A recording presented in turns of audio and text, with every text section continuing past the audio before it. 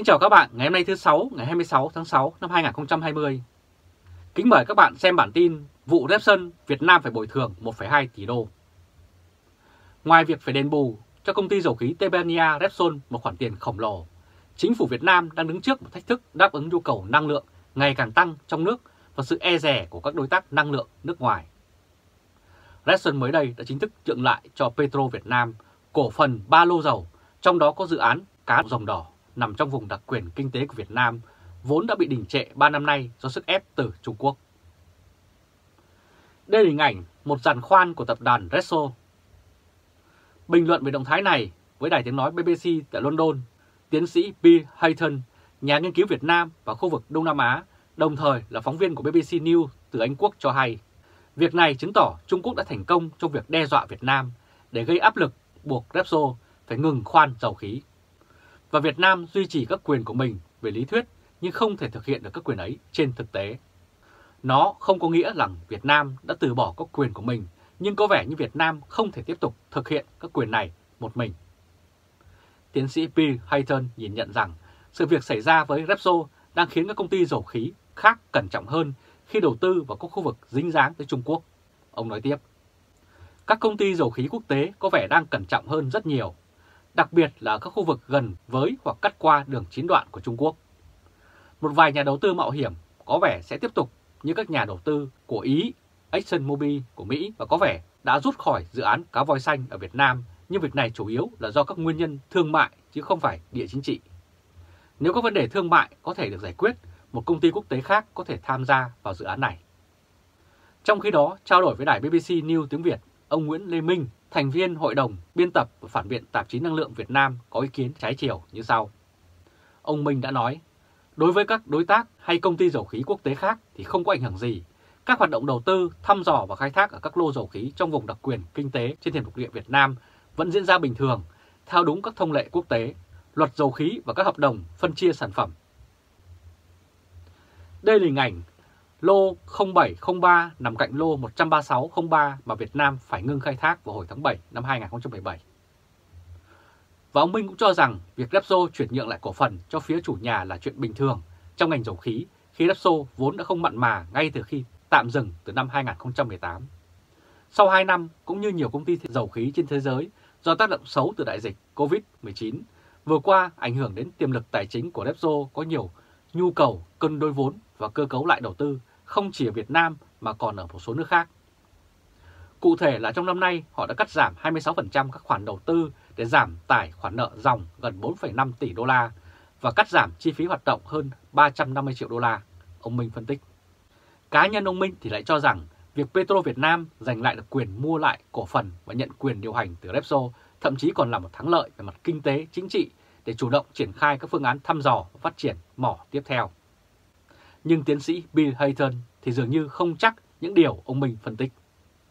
Tiến sĩ Bill Hayton nói như sau, có giả thiết rằng Petro Việt Nam muốn Repsol ra đi để mà có thể giành lấy mọi lợi nhuận.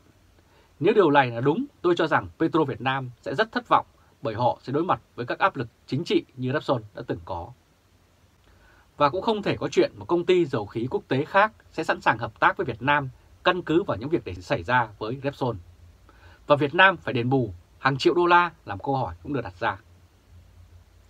Đây là hình ảnh Thông tấn xã Việt Nam cho biết từ ngày 4 tháng 7 đến ngày 24 tháng 10 với tổng số 113 ngày, tàu khảo sát địa chất Hải Dương 8 của Trung Quốc đã tiến hành 4 đợt khảo sát trái phép xâm phạm vùng đặc quyền kinh tế và thềm lục địa của Việt Nam. Trong một tuyên bố, hãng dầu khí Repsol nói rằng việc chuyển nhượng sẽ không gây ra tác động đáng kể nào lên tình trạng tài chính của công ty. Tiến sĩ Bill Hayton thì cho rằng hẳn là có nghĩa rằng Repsol đã nhận được đền bù từ phía Việt Nam. Ông nói tiếp, tôi nghe tin rằng Repsol đã chi 200 triệu đô la cho các dự án mà họ đã buộc phải từ bỏ.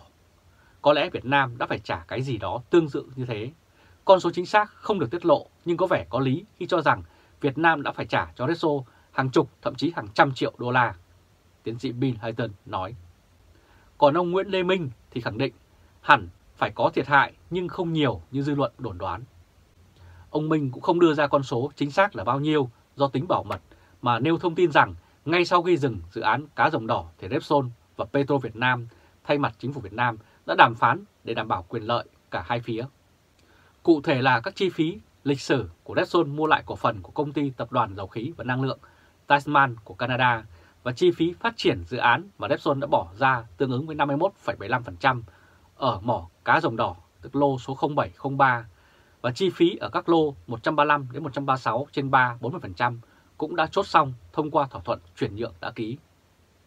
Riêng đối với hợp đồng mua sắm, cung ứng vật tư, thiết bị, chi phí, chuyên gia cho dự án cá rồng đỏ, nhà điều hành Repsol cũng đã đề nghị các nhà thầu cung ứng tính đến lúc dừng dự án và thanh lý hoặc dùng cho dự án khác. Vì vậy, chi phí mua lại của Petro Việt Nam không nhiều như đồn đoán, ông Minh đã kết luận. Và tương lai nào đã dành cho dự án bế tắc thuộc tập đoàn Repsol khi họ ra đi như vậy? Câu hỏi được đặt ra. Đây là hình ảnh đường chín đoạn được vẽ ra mà Trung Quốc đã đưa ra để chiếm trọn Biển Đông. Vì thế, hầu hết các mỏ dầu khí mà Việt Nam đang khai thác đều bị Trung Quốc xem là vi phạm chủ quyền của họ. Trả lời đài BBC, ông Nguyễn Lê Minh nói rằng việc hiện nay Petro Việt Nam chưa có chiến lược cụ thể về phương án tiếp theo, nhưng theo quan điểm cá nhân của ông thì Petro Việt Nam có nhiều khả năng sẽ hình thành hai phương án. Một là Petro Việt Nam tự phát triển thăm dò và phát triển mỏ các lô khí này. Hai là hợp tác với một đối tác dầu khí từ Nga đang hoạt động ở khu vực lân cận ở bể Nam Côn Sơn như Rosneft hoặc Gazprom. Được biết, trong chuyến thăm Việt Nam của Tổng thống Nga sắp tới, ngoài chủ đề là làm sâu sắc hơn quan hệ đối tác chiến lược về an ninh quốc phòng, thì hai bên sẽ đi sâu về lĩnh vực hợp tác dầu khí của các công ty dầu khí Nga ở khu vực này. Về tổng quan, từ nghị quyết Trung ương thứ 8 về kinh tế biển ban hành vào cuối năm ngoái, mà dầu khí là một trong những trọng tâm hàng đầu, lĩnh vực dầu khí sẽ được Đảng và Chính phủ Việt Nam ưu tiên thúc đẩy phát triển. Ông Minh đã nói như vậy. Và trong cuộc phỏng vấn mới đây với đài BBC, giáo sư Ca Thây có vẻ nghiêng về phương án thứ hai mà ông Minh nêu ra khi cho rằng Tập đoàn Dầu khí Việt Nam có lẽ không có đủ nguồn lực để tự vận hành các dự án phát triển tại các lô mỏ này mà phải tìm kiếm đối tác nước ngoài. Tuy nhiên, dù hợp tác với đối tác nào thì điều này sẽ khó khăn vào thời điểm sự hiếu chiến của Trung Quốc gia tăng và căng thẳng giữa Bắc Kinh và Washington đang leo thang, theo phân tích của giáo sư Ca Thầy. Và theo tiến sĩ P. Hayton thì lo ngại về vấn đề an ninh năng lượng Việt Nam cần để đáp ứng nhu cầu của một nền kinh tế đang tăng trưởng. Và liệu Việt Nam có chấp nhận các nhà máy điện than bẩn thỉu do Trung Quốc xây dựng với đủ mọi hậu quả tiêu cực lên môi trường hay không? Hay thay vì thế, Việt Nam sẽ vận hành đủ các nguồn năng lượng tái tạo? Câu trả lời này hiện chưa rõ ràng và giáo sư Bill Hayton nhìn nhận như vậy.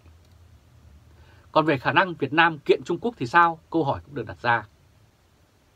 Đây là hình ảnh vào ngày 12 tháng 7 năm 2016, Tòa án tuyên bố Philippines thắng kiện Trung Quốc về tranh chấp chủ quyền trên Biển Đông. Tòa nhất trí rằng Trung Quốc không có các quyền lịch sử dựa trên cái gọi là bản đồ đường chín đoạn. Ngoài ra, việc xây dựng các đảo nhân tạo là trái phép và Trung Quốc đã gây tổn hại nghiêm trọng đến môi trường biển. Trước câu hỏi liệu động thái của Repsol có khiến Việt Nam chuẩn bước không dám kiện Trung Quốc ra tòa án quốc tế liên quan đến các tranh chấp trên biển Đông nữa hay không? Câu trả lời của tiến sĩ Beherton là không hề. Ông nói tiếp, đây là một lập luận rất tốt để Việt Nam để đơn kiện Trung Quốc lên tòa trọng tài, những lý lẽ phản bác lại việc này là do tính chính trị. Và liên quan đến các biện pháp trả đũa của Trung Quốc nếu Việt Nam kiện hay cái lợi cho Việt Nam nếu thắng kiện, tiến sĩ Bill Hayton đề cập đến một bài báo mới xuất bản gần đây của ông Vu, Giám đốc Học viện Quốc gia về Biển Đông của Trung Quốc. Trong đó đưa ra một loạt các biện pháp mà Trung Quốc có thể thực hiện để chống lại Việt Nam. Đó là bốn kịch bản bao gồm Trung Quốc sẽ công bố đường cơ sở bao quanh quần đảo Hoàng Sa hoặc là tăng cường đàn áp tàu cá Việt Nam hoặc là ngăn chặn quá trình quân sự hóa của Việt Nam và bước tiếp nữa là thực hiện thăm dò dầu khí ở ngay khu vực bãi tư chính thuộc chủ quyền vùng đặc quyền kinh tế của Việt Nam. Và những đe dọa này đang trở nên rõ ràng hơn, tiến sĩ Bill Hayton đã khẳng định. Trong khi đó, ông Nguyễn Lê Minh có vẻ lạc quan hơn khi đề cập đến việc Việt Nam đã xác lập được mối quan hệ chiến lược của đối tác toàn diện với nhiều nước, trong đó có những nước lớn có quyền lợi trực tiếp hoặc gián tiếp trên Biển Đông gồm Nga, Mỹ và Trung Quốc, đồng thời lại là chủ tịch của ASEAN vào năm 2020 và ủy viên không thường trực của Hội đồng Bảo an Liên Hợp Quốc nhiệm kỳ 2020-2021. Ông nói Việt Nam đã cân nhắc kỹ việc đưa tranh chấp Biển Đông ra toán trọng tài quốc tế nhưng chưa cần thiết. Và để tránh leo thang, chia rẽ trong cộng đồng ASEAN và làm phức tạp thêm tình hình ở Biển Đông, Việt Nam lựa chọn các biện pháp hòa bình, lên tiếng phản đối các vi phạm của Trung Quốc thông qua Bộ Ngoại giao. Bên cạnh đó, một phóng viên của Thời báo chấm từ Hà Nội đã dẫn một nguồn tin tuyệt mật cho biết rằng Việt Nam đã phải đền bù cho Repsol tới 1,2 tỷ đô la. Đây là hình ảnh Bộ Chính trị Việt Nam họp vào ngày 15 tháng 5 năm 2019. Vào ngày 22 tháng 7 năm 2017, hãng khai thác dầu khí Repsol của Tây Ban Nha đã buộc phải ngừng khoan thăm dầu mỏ khí đốt ở lô 13603 thuộc vùng biển chủ quyền của Việt Nam và tiếp theo là họ bắt Việt Nam phải bồi thường tới 1 tỷ 400 triệu đô la vì việc này.